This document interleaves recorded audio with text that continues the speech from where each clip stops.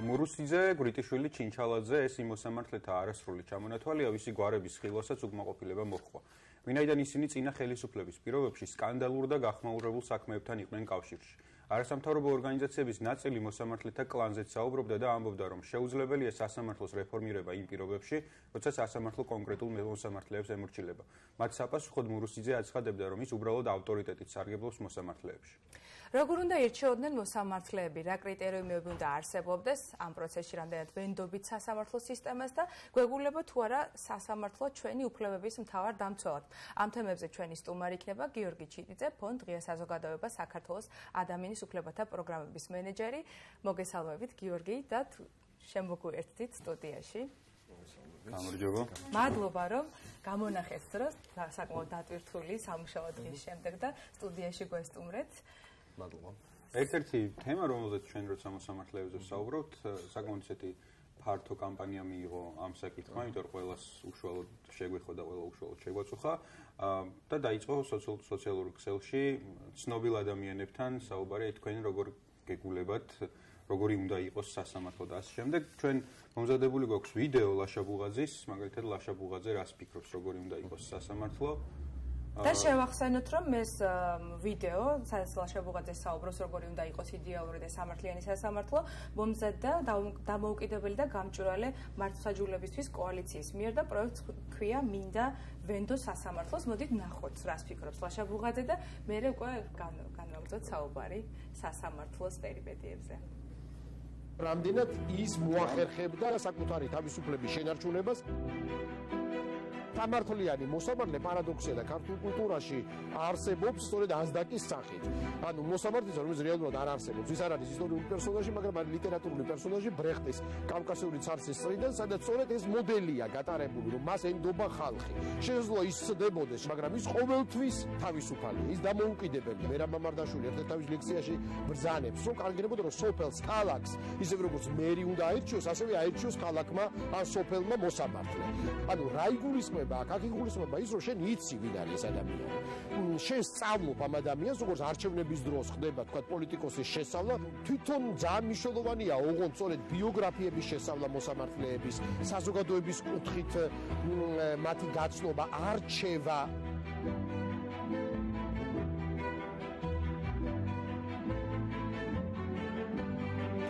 მოსამართლეს გადაწყვეტილების მიღების წინ დაურეკავდა რომელიმე მაღალჩინოსანი პოლიტიკოსი ხელისუფლებაში მყოფი პირი თუ სხვა თუ სხვა და მოთხოვდა რომ ხელისუფლების პოზიციის შესაბამისად მიიღო გადაწყვეტილება მოსამართლეს რამდენად ის მოახერხებდა საკუთარი თავისუფლების შენარჩუნებას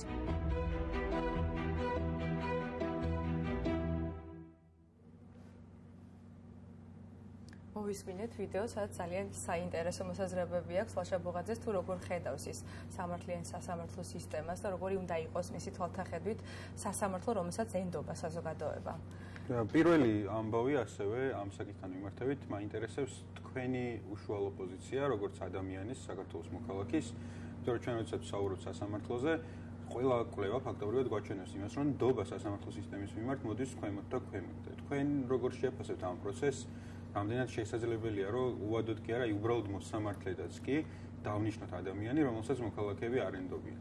აა პირველ რიგში კიდევ ერთხელ მოგესალმებით, მადლობა გადაცემაში მოწვევისთვის. რაც შეეხება თქვენს შეკითხვას, ჩვენ კარგად უნდა გავიაზროთ, რომ საქართველოს ისტორიის არც ერთ ეტაპზე, არც ერთ მანძილზე სასამართლო, როგორც ხელისუფლების შტო არ ყოლია.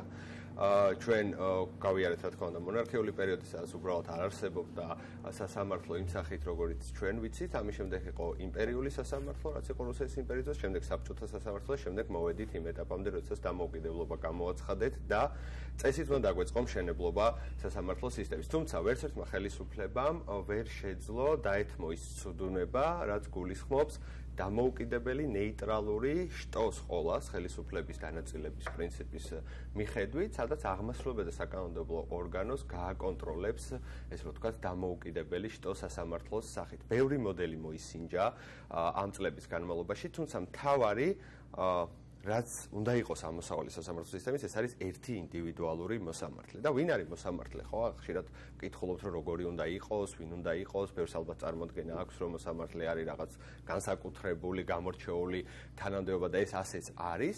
მოსამართლეს უნდა კონდეს რამდენიმე მოსართ დაკმაყოფილებს რამდენიმე მოთხოვნას, ხომ? ძალიან მარტივია და გასაგები ეს მოთხოვნა. პირველი ეს მოთხოვნა არის ის უნდა იყოს დამოუკიდებელი.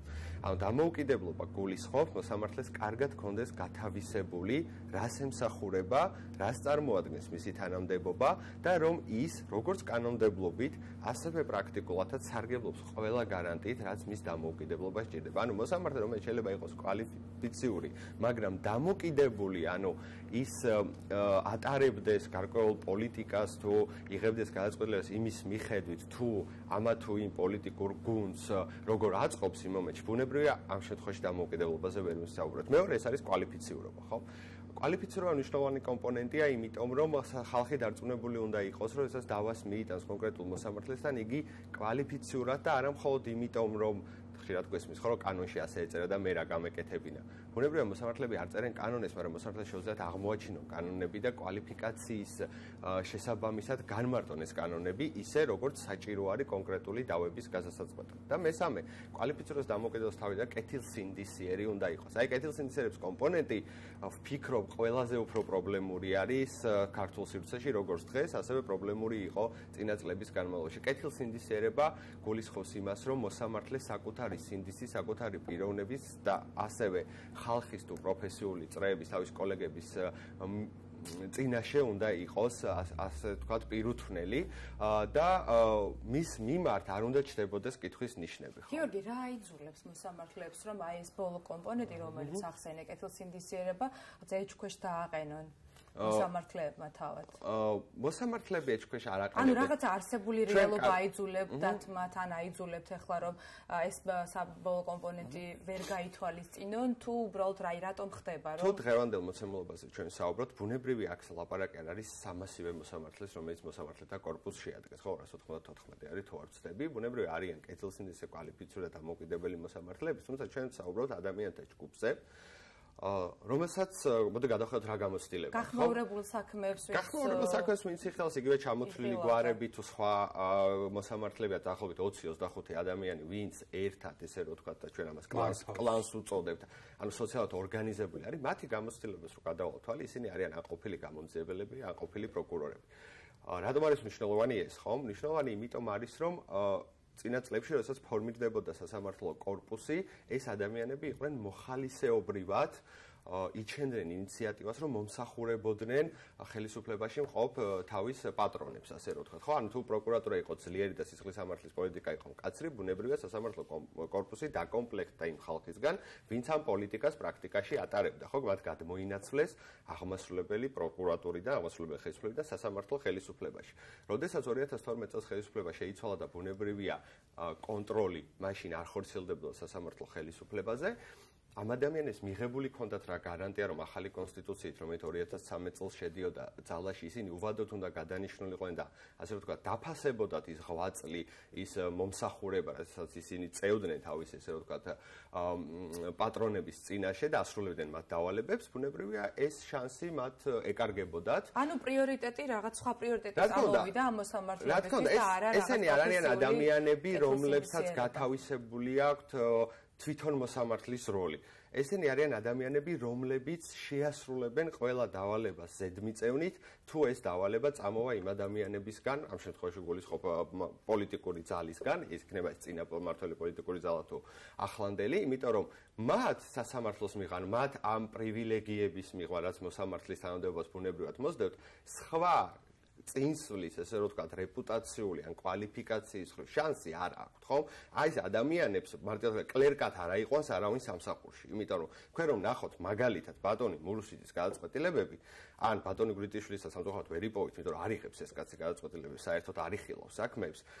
სერიოზული პრობლემა ხო თავი რო გავანებოთ კეთილსინდისერებას და მის ვთქვათ რეპუტაციას, მას კვალიფიკაციის სერიოზული პრობლემებიც აქვს, ხომ და კვალიფიკაციაზე უნდა მეკითხა, შეიძლება თუ არა რა ესეც ის კვალიფიკაციაც. რა თქმა უნდა, თუ გადავხედავთ გადაწყვეტილებებს და ეხლა როდესაც მოსამართლის ხუთი საქმე სტრასბურგში არის წაგებული და სახელმწიფო არის ესე იგი სახელმწიფო წააგოს ის საქმეები. ხუთივე ამ მისი განხილული ხო ეს უკვე არის მნიშვნელოვანი მაჩვენებელი რომ ეს ადამიანი ყველაფერთან ერთად არაკვალიფიციური არის. ანუ მას არ ესმის და ისეთი მძიმე დარღვევები როგორც სამართლიანი სასამართლოს უფლება სიცოცხლის უფლება წამების აკრძალვა ხო? ანუ უნდა მივხვდეთ რომ ეს ადამიანი ყველაფერთან ერთად ვერიაზრებს რა საქმეებს იხილავს და რა გადაწყვეტილებებს იღებს და მის პასუხებსაც თუ შევატყობთ ხო? ნათელი არის რომ ამბობს რომ აი კანონში ეს ეწერა და მე ნუ ახლა კანონს გავყანო ის ფაქტიურად ნოტარიუსად უფრო ხედავს თავის თავს არ ვაკმინებ ნოტარიუსის პროფესიას ბუნებრივად უბრალოდ მარტივად გასაგები რო იყოს. ანუ ის თავის თავს ხედავს არა როგორც შემოქმედად, არა როგორც სამართლის აღსრულებლად, არამედ როგორც ჩაქუჩის დამტყმელად, ხო? ანუ რაღაცა კონკრეტული ფორმალური ნორმების შემსრულებლად. მაგის თქმა მინდოდა, როდესაც ეს 2013 წელს ეს შანსი ეკარგებოდათ მას უვადოთ დანიშნის, ბუნებრივია, ბუნებრივია, მაშინ მათ ყველაფერი გააკეთეს, რომ ორგანიზებული ყოფილიყვენ კლანის მეშვეობით და უთხრეს ხვებს, რა თუ თქვენ გვერდით არ დაგვიდგებით, ყველა გაიზიარებთ ჩვენ ბედს, იმიტომ რომ ხელისუფლება აპირებს, რომ ჩვენ გაგვიშვას სახლში. გიორგი, თავარი ამბავი მიუხედავად იმისა, ჩვენ კვალიფიციური იქნება მოსამართლე თუ არა და კეთილსინდისიერი იქნება თუ არა, თავარი მაინც არის, რომ ჩვენ უნდა ვინდობოდეთ, ან მოქალაქეები უნდა ინდობოდნენ ამ სასამართლოს კვალიფიკაციას და ამ სასამართლოს კეთილსინდისიერებას, იმიტომ რომ სხვანაირად მათთვის სასამართლო არ იქნება ინსტიტუტი, რომელსაც ენდობიან ჩვენ გამოკითხვა ჩავატარეთ მარიამ ტაკიძე იყო და მოსახლეობას ეკითხებოდა ენდობიან თუ არა სასამართლოს. მოდი ეს ვიდეო ვნახოთ და მოსახლეობის მიერ გაჟღერებულ მესიჯებსაც შემდგომ თქვენთან ერთად უპასუხებთ. რამდენად ენდობით საერთო ჯამში ჩვენ სასამართლო სისტემას და რამდენად მიმართავდით თქვენი ინტერესების დასაცავად? აა არ ვენდობი. სასამართლო ხელისუფლებას ამ ეტაპზე უფრო მეტად ვედრობი ვინდა რამოდენიმე წლების უკან, ну, ჩემი პირადი ამ ხელისუფლების პრობლემები შეიცვალა ბევრი რამ, თუმცა წინად იმდენად ცუდი რეფორმები ჩატარდა, არა მარტო ამ და სასამართლო რეფორმასთან დაკავშირებით, რომ ძნელია ეს ესე მოკლე დროში გამოვაცო, ამას რამოდენიმე წელი არ ყოფნა. სა ჩვენი ქვეყანა ჯერ მზად არა ამისთვის, თუმცა გადადგმული არის კარგი ნაბიჯები ამისათვის. შედარება არ არის ახლა. შეიძლება საბჭოთა კავშირის დაშლის შემდეგ იმ პირველ პერიოდში რო არის, იმაზე ახლა უკეთესი არის. სადღაც მიდის გამოსწორების მიმართულებით. ანუ მიკერძოებულია ჩემი აზრით სასამართლო სისტემა. არ ვენდობი სხვა ორგანო არ მეგულება რომ მიმართო. იძულებული ხარ ისევ მიმართო სასამართლო ორგანოებს. მოცემული ეტაპისათვის ჩვენი სასამართლო სისტემა, ანუ ეს საჯულება, რომელიც საქართველოში არსებობს, საკმაოდ განვითარებულია და მე ანუ ვენდობი, თუმცა ფიქრობ, რომ ანუ ეს მეტინდობა საზოგადოებისადმი და საზოგადოების ნდობა მართლმსაჯულების სისტემისადმი უნდა ანუ ამაღალდეს უფრო მეტად და ეს ყველაფერი დამოკიდებულება, დამოკიდებულია იმ ცვლილებებზე, რასაც განახორციელებს მართლმსაჯულების სისტემა და უნდა მოხდეს ანუ ანუ ინფორმირება უნდა მოხდეს საზოგადოების, რადგან არასწორი ინფორმაცია არასწორ ზემოქმედებას და არასწორ დამოკიდებულებას იწვევს. მე მეტნაკლებად ვენდობი დღევანდელ მართლმსაჯულებას და ფიქრობ, რომ ჩემი ინტერესებისათვის ბრძოლა ღირს და რა თქმა უნდა, ყველა შემთხვევაში აუცილებლად მიმართა. თუ გამიჭირდა მიმართა, სხვა გზა თუ არ მექნება საწავალ, მაგრამ ყოველ შემთხვევაში რო ვთქვა, რომ კმაყოფილი ვარ მეთქი და ხალხი კმაყოფილი იყოს, არ ამგონია რომ კმაყოფილი იყოს სასამართლო სისტემით დღეს. გიორგი ერთ-ერთმა რესპონდენტმა, ბოლო რესპონდენტმა თქვა, რომ თუ გამიჭირდა მიმართაო. ანუ ეს რეალობა გვაქვს, რომ თუ გაგვიჭირდა, მაშინ მიმართავთ და არა თუ დამიჭირეს და სხვა გზა აღარ მაქვს. ირაკლი ობახიძე გუშინ თუ გუშინ წინ ზუსტად არ მახსოვს ერთ-ერთ გადაცემაში პირველთან თქვა ესეთი რაღაცა, რომ ეს ადამიანები იყვნენ რომ სისტემის ნაწილიო, აკეთებდნენ ცუდ რაღაცებს, მაგრამ ახლა შესაძლებელია რომ იგივე ადამიანებმა კარგი რაღაცები გააკეთონო. ანუ რამდენად ადეკვატური არის ეს შეფასება პარლამენტის თავმჯდომარის მხრიდან? აა, რა შეხება სპიკერის შეფასებას, ბატონო სპიკერმა ჩემზე უკეთესად იცის, რომ სამართლის ენაზე ცუდი რაღაცების გაკეთებას მინიმუმ სამართალდარღვევა ქვია და უფრო მძიმედ დანაშაული შესაბამისად, თუ ადამიანები მithumetes მოსამართლებით ცუდ რაღაცებს აკეთებდნენ, მათ მიმართ უნდა გატარდეს შესაბამისი ღონისძიება, იქნება ეს დისციპლინური თუ უფრო მძიმე შემთხვევაში სისხლის სამართლის გამოძიება. ხო, რას ნიშნავს ცუდ რაღაცებს აკეთებდნენ? ანუ მან დაადასტურა, რომ ეს ადამიანები საჭიროების შემთხვევაში მოქმედებენ არა კანონის და საკუთარი სინდისის შესაბამისად, არამედ მოქმედებენ იმის შესაბამისად, თუ ვინ რას დაუკვეთავს მას. ანუ ისინი ზედმიწევნით, კარგად არიან გაწაფულნი, რომ შეასრულონ დავალებები, ხო? აი, რიბა დაადასტურა, რომ ხარდაჭერა ექნება რა თქმა უნდა, რა თქმა უნდა, ჩვენ უნდა გვესმოდეს, რომ სასამართლო ერთი მხრივ სასამართლოს მიმართ ნდობა საზოგადოებაში რა უნდა შექმნას, ხომ? სასამართლო საქმიანობა უნდა შექმნას თავად. რა უნდა არსებობდეს პრეცედენტები, უნდა არსებობდეს დავები საკმაო რაოდენობის, სადაც მათ შორის შეიძლება წაგებულმა მხარემ თქვა, რომ თქვას, რომ მე არ ვარ კმაყოფილი, მაგრამ გადაწყვეტილება არის სამართლიანი. ცივილ ცივილ ქვეყნებში ხდება ასე, როდესაც ორი მხარე მიდის სასამართლოში, მათ აქვს ნდობა, რომ იქ რო ადამიანი ზის და მოსამართლე რომ ქვია და ნეიტრალური არბიტრია, იგი აკეთებს ყველაფერს, რომ მათ სამართალი აპოვნინოს, ხო? წლების განმავლობაში და დღესაც ადამიანებს უჭირთ სამართლის პოვნა სასამართლოში, შესაბამისად, აქედან გამომდინარეც ნდობა არ არის სასამართლოს მიერ თუ ქვემოდან ზემოთ პროცესი განვიხილოთ, ხო? ზემოდან ქვემოთ პროცესი, რაც თქვენ აღწერეთ ახლა, ეს არის აბსოლუტურად კატასტროფა, როდესაც ხელისუფლება, აღმასრულებელი ხელისუფლება მართველი პოლიტიკური და მათ შორის კონსტიტუციური უმრავლესობის მქონე სამწუხაროდ.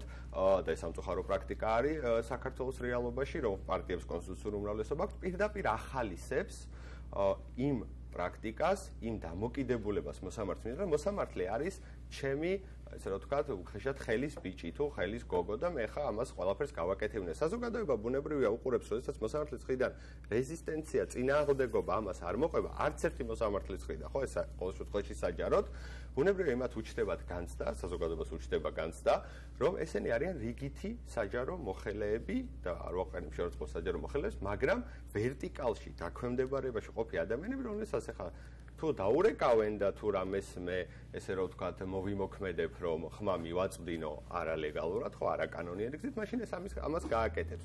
თუ არა და სხვა გამოსავალი არ არის. ხო ანუ ერთი და იგივე წრეზე ბრუნავს წლების განმავლობაში. ერთ-ერთი იურისტი სოციალურ ქსელში წერდა რომ მაგალითად თუ მურუსზე კანონით იყო ხელშეკრული და მას სხვა გზა არ ჰქონდა და ეს გადაწყვეტილება უნდა მიიღო რაც მიიღო მას შეეძლო რომ გადაწყვეტილების დასაბუთებაში ეთქვა აი აიხსნა ის ამბავი, რომ სხვა გადაწყვეტილებას ვერ მივიღებ, გაიპროტესტებინა მას როგორც მოსამართლეს, იმიტომ რომ მე არ ვიცი იურიდიულად რამდენად შესაძლებელია ეს, მაგრამ ის რომ მოსამართლეს თავისი ინდივიდუალური პასუხისმგებლობა რაღაც გადააბაროს მოსამართლემ სისტემას და თქვას რომ აი სისტემა იყო ესეთი და მე არ ვიყავი ესეთი ხო? მაშინ მოსამართლე რატომ ყავს საერთოდ თუ არ დამიცვა ამ სისტემისგან? იდეაში ხომ აგიტომ ყავს? ბუნებრივია, აი ზუსტად გუშინ თქვენი ტელევიზიის ეთერში იყო ძალიან საინტერესო გადაცემა, ზუსტად კანონზე და მორალზე და მოსამართლეებზე და ეს არის კლასიკური, რასაც ბატონი მურუსიძე ამბობს, რომ მე არაფერი შემეძლო, იმიტომ რომ კანონი მაფერხებდა. ეს არის კლასიკური ნიურნბერგის პროცესის არგუმენტი, სადაც მაშინაც მოსამართლეები ამბობდნენ, რომ რა გვექნა ჩვენ აღვასრულებით იმ კანონებს, რომლებიც მიღებული იყო სახელმწიფოში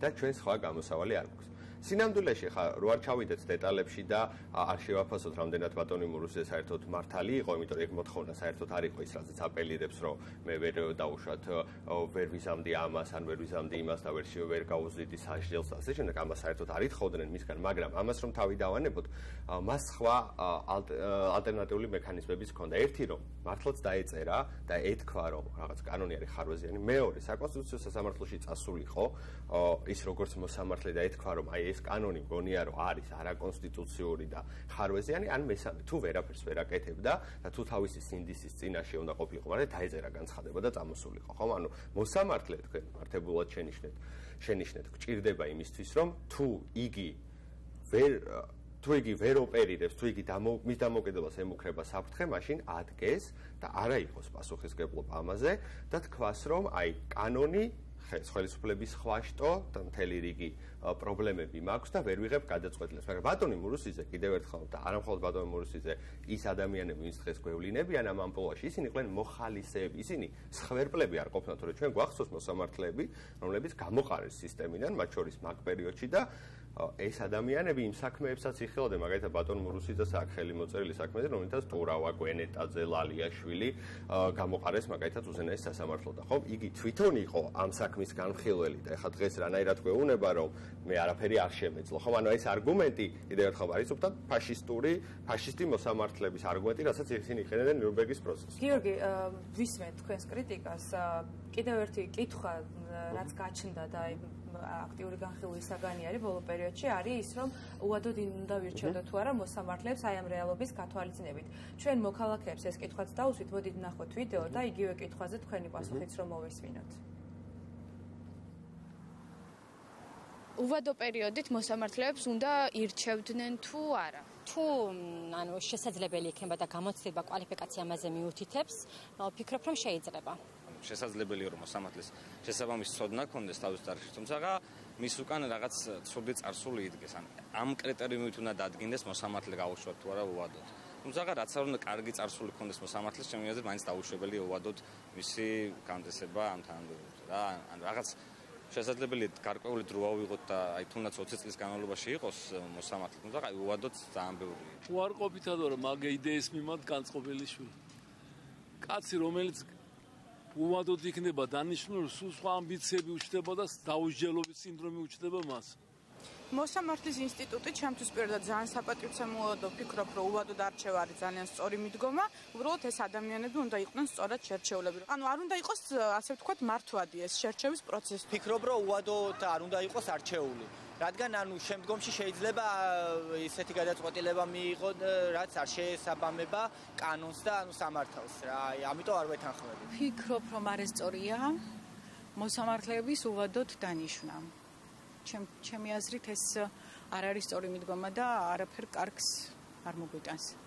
მე მგონი რომ საერთოდ უვადოთ არ უნდა ინიშნებოდნენ, რაღაც გასაზღვრული პერიოდი უნდა იყოს ამისთვის. მე ესე ვფიქრობ. კატეგორიულად წინააღმდეგი ვარ უვადოთ დანიშნის.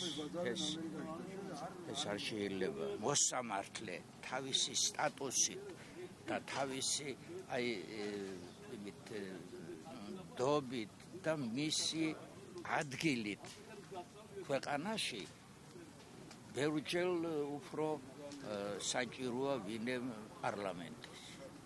იმიტომ პარლამენტში შეიძლება ერთმა კითხვას ასე, მაგრამ სხვა შეუსწორებს, გამოუსწორებს რაღაცა იქნება და მოსამართლე თუ შეცდება ამაზე სხვა ხალხის ბედია დამოკიდებული.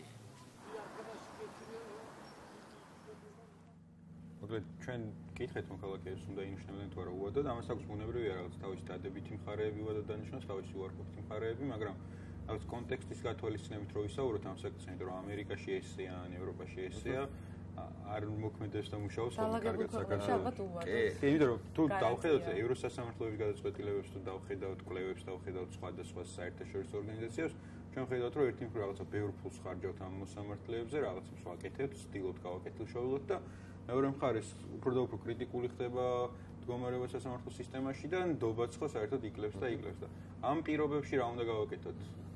რამდენი საინტერესო შეკითხვა. პირველ რიგში ჩემს მოსაზრებას დავაფიქსირებ რომ მე მგონია რომ უადო დანიშნა კონცეპტუალად არის სწორი. იმ მიზნებიდან გამომდინარე რასაც ემსახურება და რას ემსახურება. ხო იმას რომ მოსამართლის დამოუკიდებლობის გარანტიისთვის თერის სიცოცხლით როდესაც ინიშნება ბუნებრივია პოლიტიკური ცვლილებები არ ახდენს გავლენას მის საქმიანობაზე. ანუ ის ძნობს თავს დაცულად და არა აქვს მოთხოვნა რომ მაგალითად როდესაც 10 წლით ინიშნება ხელმეორედ თუ უნდა მას გადანიშნო და ბუნებრივია ასეთი სურვილი ბევრს უჩნდება. მან არ დაიწყოს ზუსტად ესე რომ ვთქვათ ნაბიჯების გადადგმა და არ ეცადოს რომ პოლიტიკურ ხელისუფლებასთან შევიდეს გარიგებაში. სწორედ იმის სანაცვლოდ რომ იგი ხელმეორედ მაგალითად აირჩიონ მაგრამ ადამიანის ხომ? ანუ მიზანი არის ეს მაგრამ ეხლა ჩვენს კონტექსტს რაც შეეხება ხო ჩვენ კონტექსტში როცა პოლიტიკა შესაძლებლობა როდესაც ის ადამიანები ის მოსამართლეები ვისაც ჩვენ საუბრობთ მათ გაზდიოდათ ყველას ვადა 2013-2014 წლებში მაშინ ჩვენ უვადო სისტემაზე გადავდიოდით უვადო დანიშნვის სისტემაზე და აი ეს ადამიანები ასრულებდნენ თავის ვადას და უნდა გადაწყვეტილიყო წავიდოდნენ ისინი დაინიშნებოდნენ უვადო თუ არ დაინიშნებოდნენ მაშინ ხელისუფლებას ძალიან კარგი შესაძლებლობა ჰქონდა რომ არ ჩაეკეტა პროფესიული წრე, ანუ რას გულისხმობ, იუსტიციის უმაღლესი სკოლა, სადაც უნდა მომზადდნენ მომავალი მოსამართლეები, ის აბსოლუტურად გაეხსნა მოეხდინა მისი რეფორმირება და ახალი ხალხი შეეშვა სისტემაში. და უკვე კონკურენციის პირობებში ბუნებრივია ძალიან მარტივად გამოჩნდებოდა, რომ ის ადამიანები, ვიზეს დღეს ჩვენ საუბრობთ და ვიზეს რისკი არის, რომ უკვე მთელი სიცოცხლის განმავლობაში ხო მინიმუმ მომავალი 25 წელი იქნებიან მოსამართლეები, ისინი ამ კონკურენციას, ისინი ამ სიტუაციას ვერ გაუძლებს, უბრალოდ კონკურსებში ვერ გავიდოდოთ. და ეს იყო კარგი შესაძლებლობა. რაც შეეხება დღევანდელ სიტუაციას, სამწლიანი გამოსაცდელი ვადები იყო დანიშნული და თუ პრაქტიკას გადავალე თვალ სამწლიანი გამოსაცდელი ვადა ზუსტად იმ მოსამართლეების მიმართ, რომელიც არ უნდათ რომ დანიშნულიყო, გამოყენებული იყო როგორც ბერკეტი, როგორც დაშინების, ზეგავლენის მოხდენის საშუალება, რომ აი თუ შენ სამი წელი ახლა ჭკვიანად არ მოიქცევი, ჩვენ აღარ დაგნიშნავთ. ამიტომ არის ეს სიტუაცია, ხომ? ამიტომ ამიტომ დავა იმაზე უადო სწორია თუ არასწორი, როდესაც ეს დავა ჩვენ გვესმის, რომ აი უადო არის და ეხლა რა ვქნათ, იყო შესაძლებლობა, აქ პრობლემა ამ პრობლემის მიზეზებს უნდა ვებრძოლოთ და არა შედეგებს. და პრობლემის მიზეზი ის არის, რომ პროფესიული წრე არის ჩაკეტილი. არც ერთ თავმოყარე 30 წლის იურის, რომელიც მეტნაკლებად არის წარმატებული, არ სურს გახდეს მოსამართლე. აი პრობლემა არის ეს. და რატომ არ სურს? იმიტომ რომ იცის, რომ მისი მოსამართლეობის საკითხი უნდა გადაწყვიტონ გრიტიშვილმა, ჩინჩალაძე, მურუსიძე და იუსტიციის უმაღლესმა საბჭომ, რომელიც იგზის. და თელი არ ვიცი ხა ამის დრო არ არის, მაგრამ როდესაც ჩვენ მოვიკვლიეთ, თქვენ ნახავთ, რომ ყველა გოლში დაწყებული სკოლიდან დამთავრებული საბჭოთი ყველგან ეს კლანი მართავს. ხო ეს არის მეგობრები დაქვემდებარებულები ნათელმირონები და ასე შემდეგ. გიორგი ბოლო პერიოდში სოციალურ ქსელში ძალიან პოპულარული გახდა ვიდეო სადაც ჩვენ ხედავთ როგორ ირჩევენ ამერიკაში მოსამართლეებს და ასე არის ძალიან ხანგრძლივი პროცესი რომელსაც თვალსადევნებს საზოგადოება და ეს არის სრულიად გამჭვირვალე. ანუ საზოგადოება მიცის ყველაფერი იმ მოსამართლის შესახებ რომელსაც ირჩევენ მოსამართლედ. ჩვენ მოქალაქეებს ვკითხეთ ასევე რა კრიტერიუმით უნდა ირჩევენ არჩევდნენ მოსამართლეებს ქვეყანაში, პრინციპში იგივე კითხვაზე თქვენც გაპასუხებინეთ, ჩვენ თუ გვექნება დრო რომ ამერიკის მოსამართლის არჩევნების ვიდეო ნახოთ, ნახავთ ამ ვიდეოსაც, თუმცა ჩვენ მოქალაქეებს მოусვინოთ რა კრიტერიუმებს მიიჩნევენ ისინი დასაშვებად ჩვენს რეალობაში და ჩვენი კონტექსტით გათვალისწინებით. ნახოთ ვიდეო და თქვენც გაგვეცით პასუხი ამაზე. როგორ უნდა ხდებოდეს მოსამართლეების შერჩევა? რის დამატებას ისურვებდით, რა კრიტერიუმების დამატებას ისურვებდით თქვენ პირადად როგორც მოქალაქე? აა მე ვისურვებდი, რომ გათვალისწინებული იყოს მათი აა საქმიანობა პროფესიონალური, რა თქმა უნდა. გათვალისწინებული იყოს შედეგები რა რა შედეგები მოიტანა მათმა მოღვაწეობამ იმ პერიოდში, როდესაც მოღვაწეობდნენ მოსამართლეებად და ხოლო ამის შემდეგ იქნეს მიღებული გადაწყვეტილება ასევე კონსენსუსის წყალობით, იმიტომ რომ ეს არის საკმაოდ მნიშვნელოვანი ინსტიტუცია ჩემი აზრით. მოსამართლე შვილო მისი ცხოვრებისეული გამოცდილებით, პროფესიონალიზმით, პატიოსნებით და არა პარტიულობით. და და ხო, ну ახლა ქვეყნის სიყვარულის პატარა კრიტერიუმი ძნელია, მაგრამ ამ მე ვით უნდა ირჩეოდეს. პატიოსანი ხალხს რა გამოლებს ქვეყანაში? ქვეყანა არის პატიოსანი ხალხი და იმათ შორის აირჩევენ მოსამართლეებს. თავარი არის, მას უნდა უყვარდეს თავისი ქვეყანა. თავისი ქვეყანა და თავისი ხალხი. უყვარდეს უნდა და თუ მას უყვარს თავისი ხალხი, ის ეცდება მუდამ რომ სწორად გადაწყვიტოს საქმეები არ მოიტყვილოს და არ გააკეთოს ის სუდი რაც ხდებოდა სულ მუდამ. ისეთი დონის პროფესიონალები როგორც ნინო გვენტაძეა თუ აირჩევიან, ყველანაირი წესი მისაღებია, მაგრამ როცა ის რაღაცა ეჭვებს, იწვევს და მნიშვნელოვან რაღაცა იმას ბადებს საზოგადოებაში, ეს განხილვის საგანი უნდა იყოს თუნდაც მერიის მხრიდან. უფრო მეტი ჩართულობა უნდა იყოს არა მხოლოდ საკანონმდებლო ხელისუფლებიდან, არამედ ჩვეულებრივ ხალხს უნდა მიეცეს, რაღაც ისეთი ფორმა უნდა შეიქმნას, რომლის გამოც მიეცემა ხალხს ამაში ჩართულობა. თუ ეს ამ დონემდე ვერ დავიყვანეთ შესაბამის სპეციალისტებს, იმ ადამიანებს, იმ კანონმდებლებს, იმ იურისტებს, რომლებიც მიიღებენ ამ პროცესში მონაწილეობას. არავითარ შემთხვევაში აა ჩემი აზრით ყოველ შემთხვევაში არ არის აუცილებელი მოსამართლე უადოდ იყოს განწესილი. ეს და პრობლემებს ქნეს, იმიტომ რომ ჩვენი ქვეყანა შედარებით პოლიტიზირებულია და აქედან გამომდინარე მოსამართლე ვერ იქნება სრულიად დამოუკიდებელი. მოკლედ, საინტერესო მოსაზრებებს ვისმენთ მოქალაქეებისგანაც, შეიძლება ვთქვათ, რომ ხალხი ბრძენია? რა თქმა უნდა. მაგრამ ძალიან საინტერესო მოსაზრებას ვისმენთ მართლაც. თქვენი პასუხი როგორია, თქვენი შეფასება ამ შემთხვევაში? რა კრიტერიუმებით უნდა ვირჩევდეთ მოსამართლებს? არის თუ არა გადასახედი ეს კრიტერიუმები და რაღაც ბოლოსკენ თარო შევაჯამოთ, იმიტომ რომ ჩვენი დრო არითმეს. როგორ ხედავთ თქვენი სასამართლოს მომავალს? აა რა შეიძლება კრიტერიუმებს? რა კრიტერიუმებიც არ უნდა დაიწეროს და როგორც არ უნდა გაიწეროს, მნიშვნელოვანი არის შეფასდეს თითოეული ადამიანის როგორც პროფესიული, ასევე პიროვნული თვისებები. აბსოლუტურად გამოწვლილვით პარლამენტმა მათ შორის უნდა მოიციოს ყველა ინფორმაცია, ყველა შესაძლო ინფორმაცია ამ ადამიანის შესახებ და დაისვას ყველა კითხვა. ძალიან კარგად შენიშნეს მოქალაქეებმა, რომ თვითონ მოქალაქეები უნდა იყვნენ ჩართული ამ პროცესში, ძალიან მარტივად პარლამენტში შეიძლება დაესწრონ ხდომებს და დაუსვან მათთვის საინტერესო კითხვები ამ ადამიანს, რომ თელმა ქვეყანამ იცოდეს ვინ გამწესდება განსაკუთრებით უზენაეს სასამართლოში, რომელიც არის ყველაზე მაღალი ინსტანციის სასამართლო, ვინ გამწესდება, მით უმეტეს ვინ გამწესდება უვადოთ, ხომ? ეს ადამიანი, ამ ადამიანის მიმართ კითხვის ნიშნები, როგორც პროფესიულად, ასევე შეიძლება მის პირადი ცხოვრების მიმართაც კი არ უნდა არსებობდეს და თუ თქვენ შესაძლოა გექნებათ ნახოთ. აშშში როგორ ირჩევენ მაგალითად მოსამართლეს, იქ ყველანაირი კითხვა იცევა, მათ შორის ძალიან მწვავე და უხერხული კითხვები. მე რესურს რაც შეეხება, აა მე ღრმად ვარ დარწმუნებული, რომ ამ ქვეყანაში მოიძებნება 18, მაგალითად უზენას სასამართლოზე ვსაუბრობთ და 18 მოსამართლით უნდა შეივსოს ეს სასამართლო 18 დამოუკიდებელი კეთილსინდისერი და კვალიფიციური ადამიანი, რომელსაც არ შეეშინდება წარდგეს პარლამენტის, ანუ ქვეყნის საკანონმდებლო ორგანოს წინაშე და უპასუხოს ყველა შეკითხვას დასმულს დეპუტატების მხრიდან, სამოქალაქო სექტორის მხრიდან, მოქალაქეების მხრიდან თუ ნებისმიერი დაინტერესებული პირის. ამას შეიძლება უბრალოდ პოლიტიკური ნება. და არა იმის თქმა, რომ არ არსებობს ცუდი და კარგი ადამიანები, ალბათ ადამიანები ხანდახან ცუდ რამებს აკეთებენ და ხანდახან კარგავეს. მოსამართლე ყოველთვის უნდა იყოს მართალი თავისი სინდისის წინეს. და ხალხის წინაშე. ძალიან მადლობა გიორგი.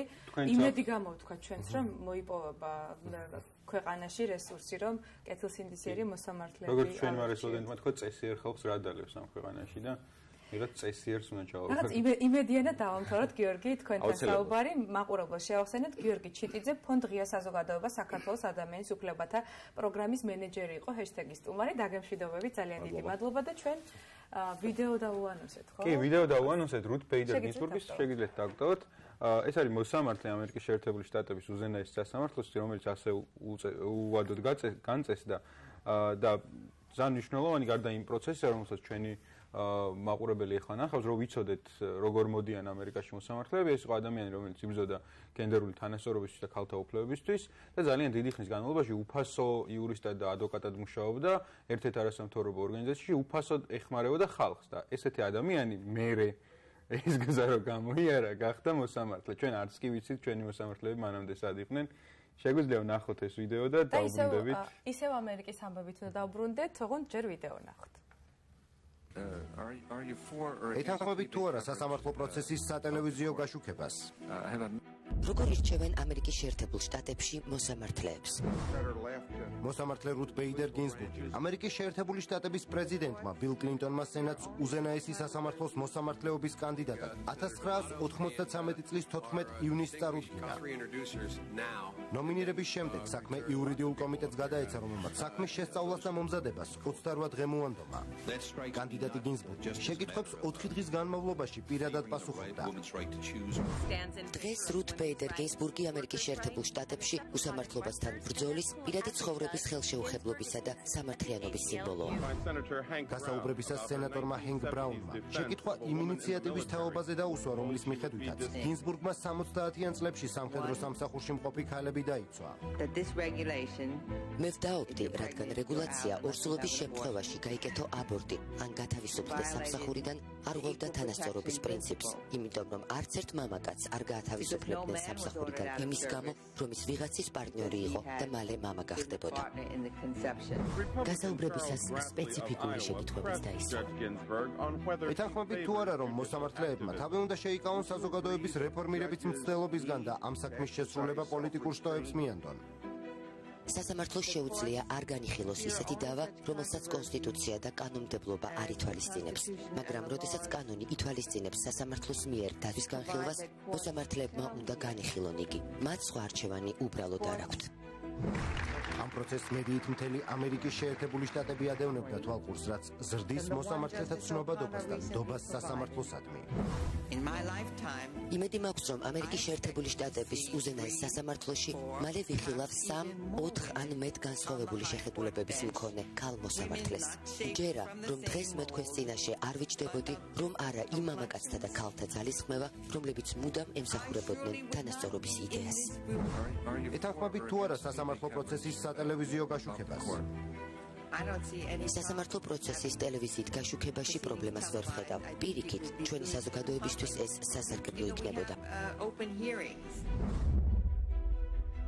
საქართველოს კონსტიტუციის ახალი რედაქციით უახლოეს მომავალში პარლამენტმა უზენაესი სასამართლოს არანაკლებ 18 მოსამართლე ვადოდ უნდა დანიშნოს.